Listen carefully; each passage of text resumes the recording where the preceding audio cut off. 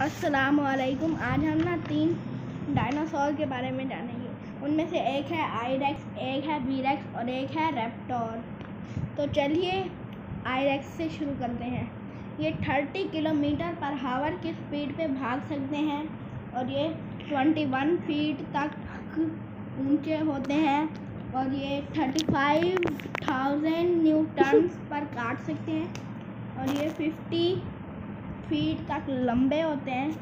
चलिए आयरेक्स के बारे में इंफॉर्मेशन जान ली। अब वीरेक्स के बारे में भी एक बार जान ही लेते हैं। ये twenty five miles per hour की स्पीड पे भाग सकते हैं। और ये फिफ्टीन और इनका वज़न फिफ्टीन टन होता है जो कि बहुत ज़्यादा है। और ये ट्वेंटी फीट तक ऊँचे होते हैं।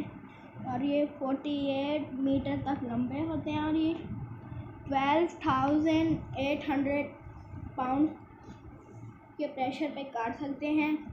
अब रेप्टोर की भी बात कर लेते हैं, है ना? ये फोर्टी किलोमीटर पर हावर की स्पीड पे भाग सकते हैं। और ये भी कहा जाता है कि उनके पास पर होते थे, बट वो उड़ नहीं सकते थे। तेज चलते हैं ना?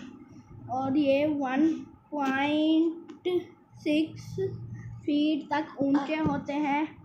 और ये थ्री मीटर तक लंबे होते हैं और ये one lakh one thousand L B per square पर काट सकते हैं और ये थाउज़ेंड तक भारी होते हैं और ये हंड्रेड पाउंड्स पर काट सकते हैं। तो आपका इन तीनों में से क्या, कौन सा डायनासोर फेवरेट है? कमेंट करके बताना और बताना।